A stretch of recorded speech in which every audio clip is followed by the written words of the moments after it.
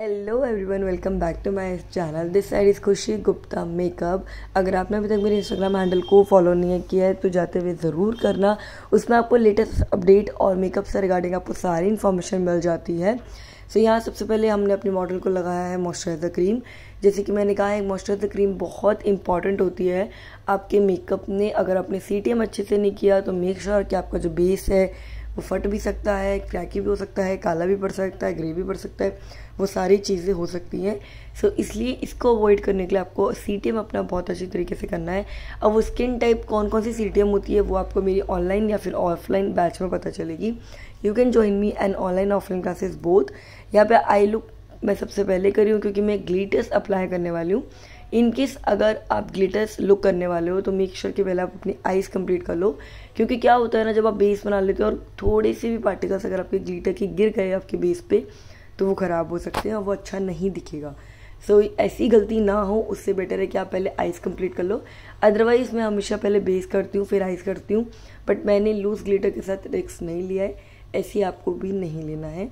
यहाँ पे सबसे पहले ट्रांजेक्शन शेड लगाया है। इनकी गाउन का मैच करा हुआ शेड कलर मिलते जुलता शेड से उसको मर्जिंग कर रही हूँ। इस टोटली डिपेंड्स ऑन यू कि उनकी कॉस्ट्यूम कैसी है ड्रेस कैसी है तो उसके अकॉर्डिंग आप कर सकते हो। बट हाँ आपको एक लूज ग्लिटर अप्लाई करने से पहले अच्छी तरीके से ट्रांजेक्शन शेड लगानी है। उनकी ड्रेस के कलर मिलता जुलता हुआ कलर आपको लगाना है। शिमर अप्लाई करना है लूज ग्लिटर अप्लाई करने से पहले ताकि वो और पॉपअप होके आए। आप मिलता जुलता वो कोई सा भी शिमर लगा सकते हो। जैसे कि आप देख रहे हो मैंने थोड़ा सा कॉपर या फिर सिल्वर में लूज ग्लिटर लिया था तो मेक श्योर sure कि मेरा शिमर भी ऐसा ही कुछ हो। इससे क्या होता है ना, आपका स्टे बहुत अच्छी तरीके से रहता है और आपका कलर भी बहुत अच्छी तरीके से निकल के आता है। ये आपको यूज़ करना है अपनी उंगलियों की मदद से, ना कि ब्रश की हेल्प से। आपको शिमर हमेशा अपनी उंगलियों की हेल्प से लगाना है। उससे पहले आपको अपना लूज ग्लिटर लगाने से पहले आपको ग्लू अप्लाई करनी है। आप चाहो तो ब्रश से भी अप्लाई कर सकते हो, आप चाहो तो डायरेक्ट अपने ब्रश से अप्लाई कर सकते हो। एंड देन लूज ग्लिटर भी देखो, मैंने अपने हाथ से अप्लाई किया, जो मुझे छोटे छोटे पार्टिकल्स लग रहे थे।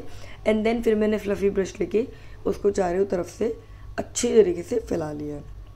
नेक्स्ट मैंने दूसरे आइस पर भी सेम आप देख सकते हो फ्लफी ब्रश आपको लेना है, कोई भी फ्लैट ब्रश आपको नहीं लेना है अदरवाइज़ वहाँ पे पैच पड़ सकता है। पैच को बचाने के लिए आपको फ्लफ़ी ब्रश यूज़ करना है। आप चाहो तो कोई सा भी फ्लफ़ी ब्रश यूज़ कर सकते हो। बट जो आप आई शेडो ब्लेंडिंग करने में यूज़ करते हो, आपको वही ब्रश यूज़ करना है। आपके जो पिगमेंट है, वो बहुत अच्छी तरीके से निकल के आएँगे पिक होंगे डिपॉजिट होंगे। अगर आपको अभी तक नहीं पता था ना अवेलेबल तो नीचे कमेंट बॉक्स में ज़रूर बताना कि हाँ हमें वाली चीज़ नहीं पता थी। नेक्स्ट यहाँ पे मैंने एक ऑरेंज कलर करेक्टर यूज़ किया है। हमें कम मात्रा में ऑरेंज कलर करेक्टर यूज़ किया है। अगर आपको ज़्यादा करना है ना तो आपको मेक श्योर sure कि आपको ब्यूटी ब्लेंडर से अच्छी तरीके से उसको ब्लेंड करना है। अदरवाइज़ अगर आपने डायरेक्ट इसके ऊपर फाउंडेशन अप्लाई किया तो जो आपकी शिकायत रहती है कि हमारा जो फाउंडेशन है ऑरेंज कलर करेक्टर के साथ मिक्स हो जाता है, वो शिकायत हमेशा बनी रहेगी। यहाँ पे मैंने पहले ब्रश के साथ अप्लाई कर रही हूँ एंड देन ब्यूटी ब्लेंडर के साथ डाइबिंग मोशन में डाइब करके, यहाँ पे अच्छी तरीके से जो भी उसका एक्सेस प्रोडक्ट है, वो यहाँ पे मैं निकाल रही हूँ। आपको भी सेम ऐसे ही करना है। अदरवाइज़ आपका जो बेस है, वो ऑरेंज ऑरेंज काला काला पड़ सकता है। डार्क सर्कल्स हो, नहीं हो पिगमेंटेशन हो, नहीं हो, आपको ऑरेंज कलर करेक्टर लेना है। बेशक आप कम क्वांटिटी में लो, लेकिन आपको लेना ज़रूर है। आप देख सकते हो कि मैंने फाउंडेशन की एप्लीकेशन सबसे पहले अपनी फाउंडेशन फ्लैट ब्रश से करी। आपको ब्यूटी ब्लेंड ऐसे डायरेक्ट अप्लाई नहीं करना है। इससे क्या होगा, आपका कवरेज कम मिलेगा। सो द मेक श्योर कि आप अच्छे तरीके से अपना फाउंडेशन ब्रश की हेल्प से करो। ये तो आपको थोड़ी सी नॉलेज मिल रही है, लेकिन अगर आपको और ज़्यादा अच्छी खासी नॉलेज लेनी है, क्यों क्यों नहीं करते, कैसे नहीं करते तो आपको मेरा ऑनलाइन या फिर ऑफलाइन बैच चालू करना पड़ेगा। इन डेली नो डाउट कोई फेक वेक नहीं है, आप चाहो तो मेरे इंस्टाग्राम पे भी जाके देख सकते हो। मैं डेली डेली लाइव आती हूँ आई गेस साढ़े बारह से एक बजे के अराउंड मैं लाइव आती हूँ और आपको सारी वहाँ पे इन्फॉर्मेशन देती रहती हूँ कोर्स के रिगार्डिंग मेकअप के रिगार्डिंग ताकि आपको नॉलेज मिलती रहे कि अपडेट होते रहो कि यार क्या चल रहा है मार्केट में। क्योंकि आजकल के टाइम पे सेमिनार्स लेना और अपडेट रहना बहुत ज़रूरी हो गया, चाहे वो मेकअप आर्टिस्ट हो, चाहे वो किसी भी फ़ील्ड का कोई भी क्यों ना हो। या मैं कॉन्टोरिंग कर रही हूँ अपनी क्रीम कॉन्टोर से। अगर आपको अपने फेस में थोड़ी सी शार्पनेस चाहिए, अगर आपको लगता है कि नहीं, मेरा वो लुक निकल के नहीं आता है, जब मैं पूरा मेकअप कर लेती हूँ तो you go with this cream contour या फिर आप लिक्विड कॉन्टोर भी लगा सकते हो।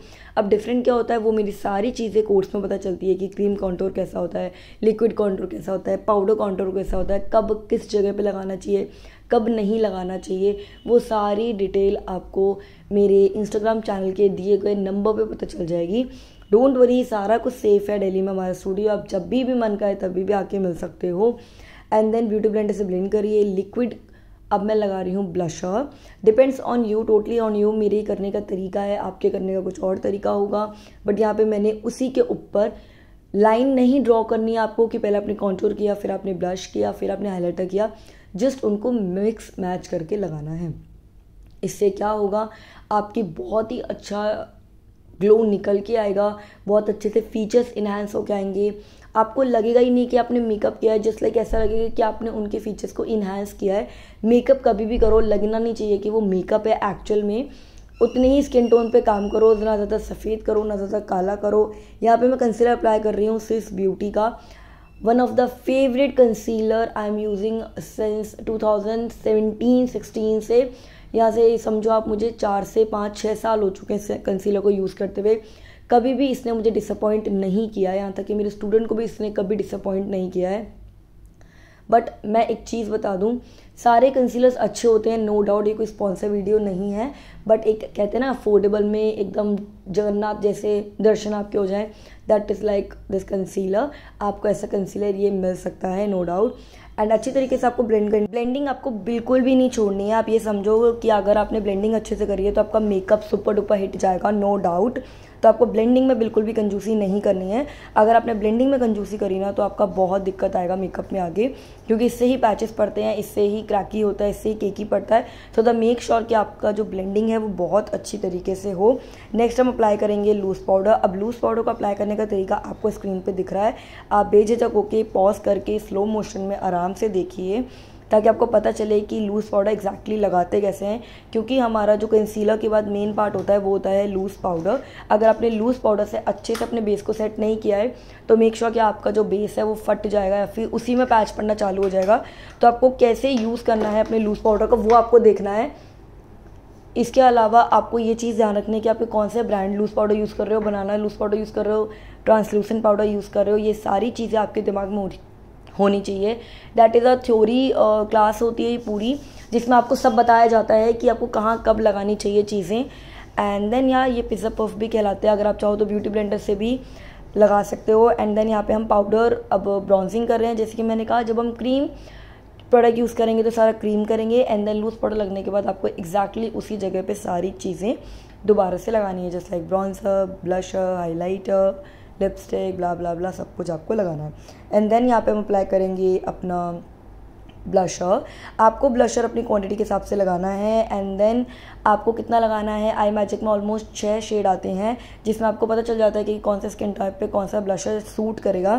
सो द मेक श्योर कि आपको इतनी भी नॉलेज होनी चाहिए कि कौन से स्किन टाइप पे, कौन से अंडरटोन पे या फिर कौन से क्लाइंट पे आपको कौन सा ब्लशर लगाना है। ये नहीं कुछ भी आया और आपने लगा दिया थप्पड़ तप ऐसा बिल्कुल भी नहीं करना है। यहाँ पर मैं हाईलाइटर यूज़ कर रही हूँ, मैंने फ़ैन ब्रश बिल्कुल भी यूज़ नहीं किया है, मैंने अपना फ्लफ़ी ब्रश को थोड़ा सा खोल कर उसे अपने फ़ैन ब्रश में कन्वर्ट कर दिया है। ये अच्छा ऑप्शन होता है क्योंकि फ़ैन ब्रश क्या होता है ना आधर उधर चले जाता है बट मुझे बिल्कुल भी फ़ैन ब्रश नहीं पसंद है। अगर आप, आपको पसंद है तो आप मुझसे वो चीज़ें शेयर कर सकते हो। मेरे कमेंट बॉक्स में अगर आपको कोई भी पूछना हो कुछ भी पूछना हो वो भी आप मुझसे मेरे कमेंट बॉक्स में पूछ सकते हो क्योंकि ये प्लेटफॉर्म आपके और मेरे लिए पूछने पाछने के लिए ही है। एंड देन अच्छी तरीके से आपको अपना हाईलाइटर लगाना है। देख सकते हो मैंने अपना पाउडर हाईलाइटर अप्लाई कर रही हूँ। एंड देन लिपस्टिक अप्लाई कर ली मैंने। ये मैंने लिपस्टिक ली थी लव रिकॉर्ड की, बहुत ही प्यारा शेड है नो डाउट आप डेफिनेटली यूज़ कर सकते हो। अगर आप चाहो तो डायरेक्टली भी लिपस्टिक यूज़ कर सकते हो बट हाइजीन को मेंटेन रखते हुए हम यहाँ पे ब्रश ब्रश की हेल्प से अपना लिपस्टिक अप्लाई कर रहे हैं एंड देन आप अप्लाई करेंगे मस्कारा का कोटिंग ये करना बिल्कुल भी मत भूलना, क्योंकि इससे क्या होता है वॉल्यूम आता है आपके लेंसेज में। और बहुत ही प्यारी आपकी आँखें लगती हैं। That is uh final look I hope ये लुक आपको पसंद आया हो। इनकेस अगर आपको पसंद आया तो शेयर करें लाइक करें कमेंट करें and subscribe to my channel in case अगर आप न्यू हो तो। एंड यह सारी डिटेल डिस्क्रिप्शन में मेंशन है। इंस्टाग्राम आईडी आपको दे रखी है। आपको कोई भी डिटेल पूछनी हो तो वहाँ जाके आप पूछ सकते हो। मेरा नंबर भी गिवन है। ऑनलाइन एंड ऑफलाइन कोर्सेज के भी रिगार्डिंग आप मुझसे बात कर सकते हो। या thank you so much watching my video stay यून गाइस मेकअप करते रहो, खुश रहो और जो जी मैं वो करो।